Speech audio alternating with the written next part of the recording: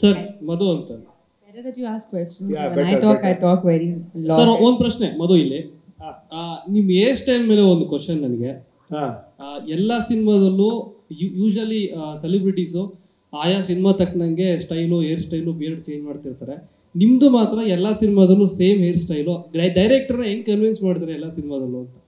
ಡೈರೆಕ್ಟರ್ನ ಹೆಂಗ್ ಕನ್ವಿನ್ಸ್ ಮಾಡ್ತೀರಾ same hair style ಇರ್ತೀನಿ ಅಂತ? ನೀವೇ ರೀ ಫಸ್ಟ್ ಟೈಮ್ ಕೇಳಿದ್ದು ನಾನೆಲ್ಲ ಬೇರೆ ಬೇರೆ ಹೇರ್ ಸ್ಟೈಲ್ ಮಾಡ್ತೀನಿ ಅಂತಾರೆ.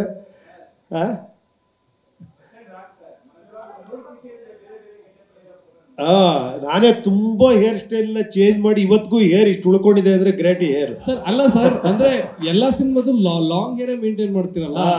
ಅದು ಇವಾಗ ನೋಡಿ ಹೆಂಗಾಗ್ಬಿಟ್ಟಿದೆ ಅಂದ್ರೆ ಇವಾಗ ಯಾರೇ ಹೀರೋ ನೋಡಿ ಉದ್ದ ಹೇರು ಗಡ್ಡ ಕಾಮನ್ ಆಗೋಗ್ಬಿಟ್ಟಿದೆ. ನಾನು ಯಾವಾಗಲೂ ಮಾಡಿದ್ದೆ.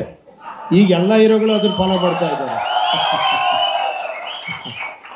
ಸರ್ ಇಲ್ಲ ನೀವು ಸೆಟ್ ಮಾಡಿರೋ ಟ್ರೆಂಡ್ನ ಬ್ರೇಕ್ ಮಾಡೋದು ತುಂಬಾ ಕಷ್ಟ. ಸೊ ಹಂಗಾಗಿ ಅದು ಹಂಗೆ ಕಂಟಿನ್ಯೂ ಆಗ್ತಾ ಇದೆ ಅಷ್ಟೇ. Thank you thank you thank you ಆ ಟ್ರೆಂಡ್ ಸೆಟ್ ಮಾಡ್ಕೊಟ್ಟಿದ್ದಕ್ಕೆ ನಿಮಗೆ ಥ್ಯಾಂಕ್ಸ್ ಹೇಳಬೇಕು. ಅಯ್ಯೋ ಥ್ಯಾಂಕ್ ಯು ಥ್ಯಾಂಕ್ ಯು ಎಲ್ಲ ನಿಮ್ಮಿಂದ ಅದೆಲ್ಲ ಆಗಿರೋದು.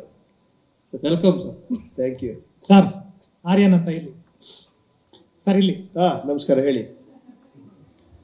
ಸರ್ ಕಬ್ಜಾ ನೀವು ಫಸ್ಟ್ ಟೈಮ್ ಕತೆ ಕೇಳಿದಾಗ ವಾವ್ ಅನ್ಸಿದ್ದು ನಿಮ್ಗೆ. ಏನ್ ಎಲಿಮೆಂಟ್ ಯಾವ ಎಲಿಮೆಂಟ್ ವಾವ್ ಅನ್ಸಿತ್ತು? ವಾವ್ ಅನ್ಸಿದ್ದೆ ಇದು ಮೇಕಿಂಗ್.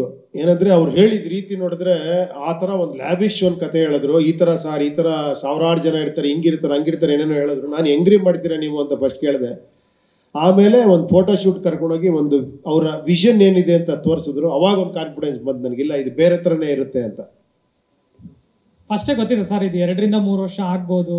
ನಾನು ಆ ಟೈಮ್ನ ಈ ಸಿನಿಮಾ ಕೊಡಬೇಕು ಇಲ್ಲ ಗೊತ್ತಿತ್ತು. ಟೈಮ್ ಟೇಕಿಂಗ್ ಅಂತ ಗೊತ್ತಿತ್ತು.